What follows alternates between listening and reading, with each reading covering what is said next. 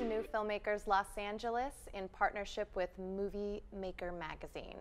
I'm here at Camrich Showroom and we are here talking with Marshall about his film Make Like a Dog.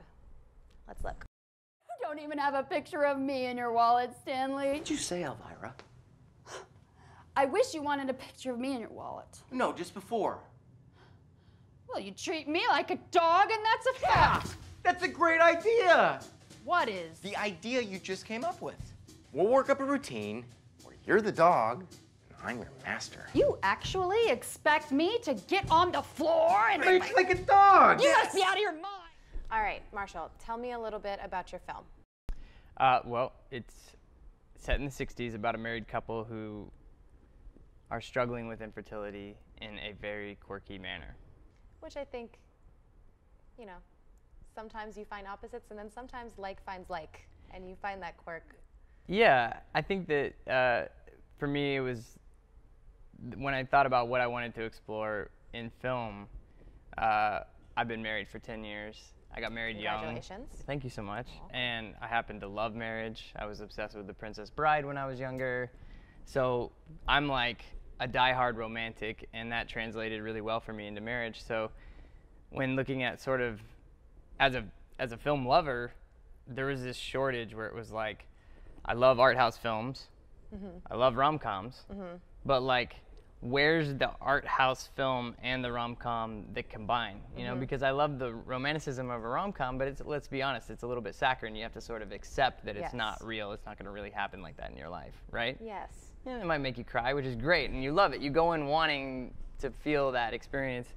But then in art house films, if it's ever about a married couple, it's it's gonna be dour. Kitchen drama. It's gonna be there's gonna be a murder. There's gonna be infidelity. There's gonna be all these things that even though those happen, it just never really makes you feel like, man, I'm so excited about being married. Absolutely. So I was, my mission was sort of set out and make content that comes from like sort of a hopeful viewpoint of yeah of marriage, and it's like I would love a married couple to sit down and watch it and go like, wow, these these people are really messed up. You And- tend to learn a different side of someone when they're like they become the other half of you, I imagine.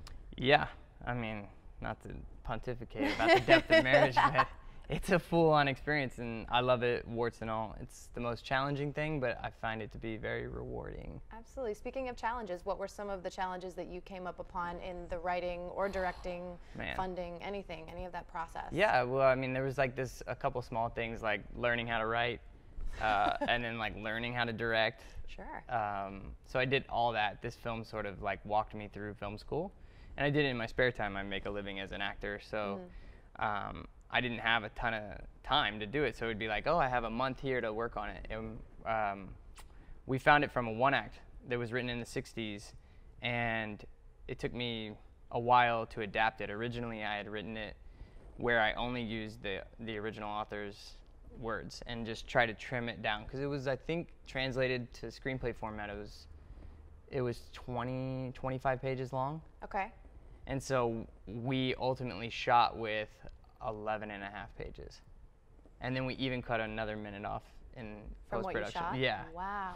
So that was one of the major difficulties was like how do you truncate this like really deep story, uh, you know, these characters with you know rich history into such a short amount of time.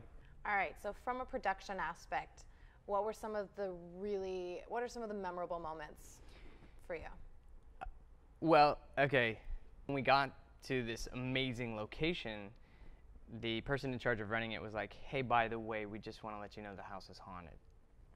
And we were kind of like, and she's like, "No, it really is." And we're like, "No."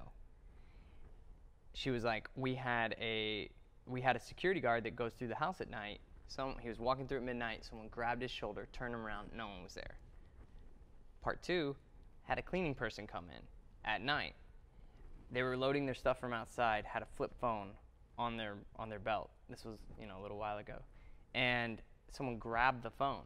Guy turns around, no one's there. The camera went off. The freaking ghost took a selfie. Come on. No joke. Was he in the was he in the photo? No. Oh yeah, yeah. And it's it's the owner of the house. Like it's totally, but like it's like a cold. It's like one of the eerie, most eerie photographs I've ever seen because it's literally a ghost like kind of like looking down at his cell phone like what what is this?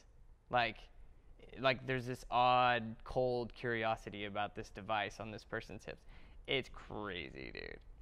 So then we were like, okay, that's weird, but whatever. So we we we went on with our first day of production, and you know it's a short, so we don't have trailers or anything. So we left the wardrobe at the end of the day in the closet in the house, Sure.